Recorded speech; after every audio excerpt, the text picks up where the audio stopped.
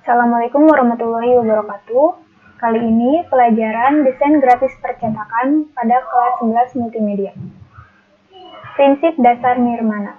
Yang pertama kesatuan. Kesatuan adalah salah satu prinsip dasar nirmana yang sangat penting. Pada dasarnya, prinsip kesatuan adalah prinsip hubungan dari suatu gambar apabila salah satu atau lebih unsur desain memiliki hubungan seperti warna, garis, kedalaman, dan sebagainya, maka kesatuan dapat tercapai. Yang kedua, keseimbangan atau balance. Keseimbangan berperan penting dalam karya desain. Keseimbangan akan memberikan rasa nyaman pada saat dipandang. Keseimbangan dalam seni tidak dapat diukur, namun dapat dirasakan, yaitu keadaan ketika semua bagian dalam karya tidak terdapat unsur yang membebani satu sama lain. Yang ketiga, proporsi. Proporsi termasuk prinsip dasar dalam nirmana untuk memperoleh keserasian dalam sebuah karya desain. Salah satu jenis proporsi dalam desain grafis yaitu proporsi agung atau the golden mean. Dalam bidang desain proporsi dapat dilihat dalam perbandingan ukuran kertas dan layout pada halaman. Yang keempat, irama.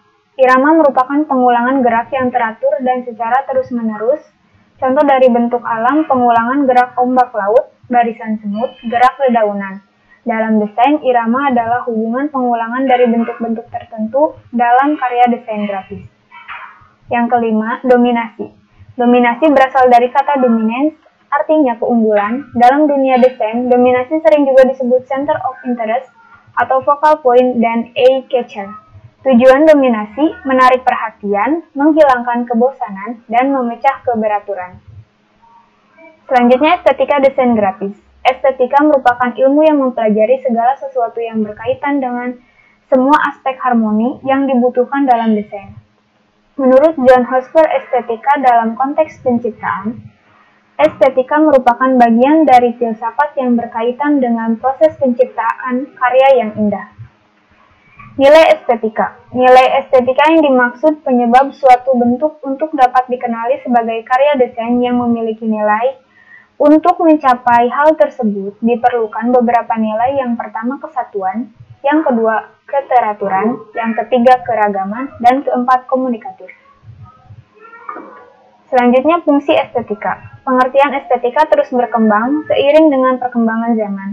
Berikut alasan orang ingin mengenal estetika. Yang pertama, karya-karya seni dan desain yang alami maupun yang buatan begitu berharga sehingga dipelajari ciri khasnya demi karya seni dan desain itu sendiri. Yang kedua, pengalaman estetika begitu berharga. Baik untuk kelompoknya maupun masing-masing anggota, karya seni dan desain itu harus dipelajari. Yang ketiga, pengalaman begitu bernilai pada dirinya sendiri, sehingga membutuhkan pengujian dan penelitian mengenai kualitas karya seni dan desain. Yang keempat, estetika merupakan pengetahuan yang mempelajari dan memahami melalui pengamatan hal ihwal keindahan baik pada objek maupun subjek atau pencipta, dan pengamatan melalui proses kreativitas dan filosofis. Selanjutnya, penekanan penguasaan dalam grafis komunikasi. Dalam proses komunikasi lebih menekankan penguasaan pengetahuan khusus, yaitu yang pertama estetika konsep. Estetika konsep adalah kualitas estetik yang lahir karena adanya penggabungan antara berbagai batasan atau alternatif dan perencanaan. Estetika ini dapat dicurahkan di atas kertas gambar, model, mock-up, market, prototype, atau deskripsi proyek desain. Kecocokan adanya prinsip ilmu pengetahuan dengan teknik komputer dan mesin produksi disesuaikan dengan lingkungan atau masyarakat setempat. Yang kedua, estetika pelaksanaan. Estetika pelaksanaan adalah kualitas estetik yang berada pada pelaksanaan estetika konsep. Dalam pelaksanaan belum tentu 100% sama dengan konsep yang telah ditentukan. Maka, dalam hal ini perlu perubahan-perubahan dengan pertimbangan khusus yang tidak bisa terikat dalam konsep, seperti skala, cara pelaksanaan, material, dan sebagainya. Lalu estetika teknologi. Estetika teknologi adalah kualitas estetik yang diciptakan melalui proses teknologi yang menekankan pada pelaksanaan jalannya teknologi, teknologi atau mesin.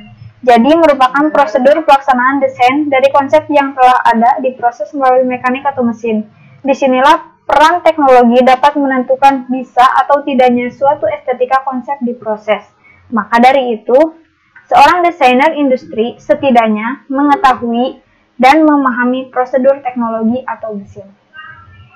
Tugas, buatlah rangkuman materi hari ini. Dan yang kedua, jelaskan secara rinci nilai yang diperlukan untuk mencapai nilai estetika pada estetika desain grafis. Sekian dari saya. Wabillahi taufiq walhidayah. Wassalamualaikum warahmatullahi wabarakatuh.